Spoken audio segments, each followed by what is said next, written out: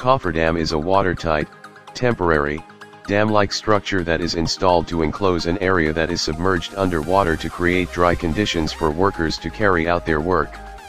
Cofferdams are built to enable construction in large water bodies like bridge piers, rigs and oil platforms by diverting the flow of water and pumping out water from the enclosed cofferdam.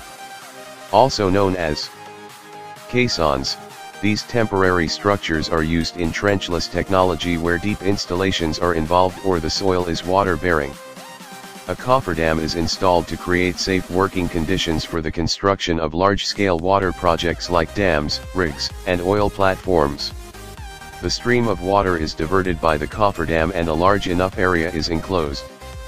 The cofferdam needs to be installed properly, and correctly pressurized to prevent failure. In cases where the cofferdams need to be taken to great depths like for piers that need to be embedded in hard strata, bottomless caissons with strong roofs are sunk. From the top of the caisson, plate iron walls are erected with an open top. In this upper caisson, the structure is built on top of the lower caisson roof until it sinks to the required depth.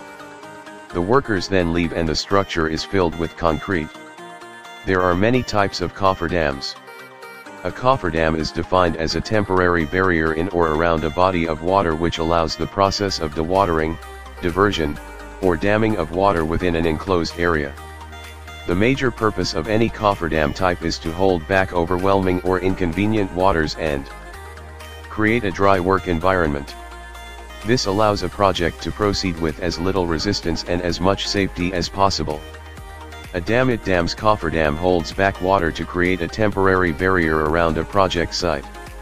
Cofferdams usually fall into these categories, cantilever sheet pile cofferdam, braced cofferdam, earth embankment cofferdam, rockfill cofferdam, double wall cofferdam, cellular cofferdam. Cantilever sheet piles cofferdam type of cofferdam is susceptible to leakage and flood damage, making these forms of damming better suited for smaller depths of water, up to 18 feet. They can be constructed of wood, concrete, or steel, each with their own size limitations in what they can handle. Wooden sheet pile cofferdam is suitable for up to 9 feet, steel sheet pile is suited up to 18 feet head of water, similar to concrete, which suitable when headroom is limited. They are bored and cast in place and are to be used to avoid noise and vibration. Earth embankment type of cofferdam is suitable for high heads of water with low velocity. A successful cofferdam does not need to be completely watertight because some seepage of water into the excavation is usually well tolerated. The water collected is pumped out of the excavation afterwards. The embankment is provided with a freeboard minimum of 3 feet to prevent overtopping by waves. This type of cofferdam requires large base area and is adopted when an area of excavation is very large. Clay soil is appropriate for the construction in dry season. If constructed in wet season, sand fill is the best material. Rock fill. Embankment cofferdam type is made of rock fill. A typical section rock fill cofferdam is better than the earth fill. These are very pervious and are usually provided with an impermeable membrane of soil to reduce seepage. The crest and upper part of impermeable membrane are provided with a wrap to protect against the wave action. Double wall sheet piles type of cofferdam is suitable when it is required to exclude water over 36 feet. This consists of two straight, parallel vertical wall of sheet piling tied to each other and the space between them filled with soil. Double wall sheet pile cofferdam higher than 7.5 feet should be strutted. Sometimes an inside berm is provided.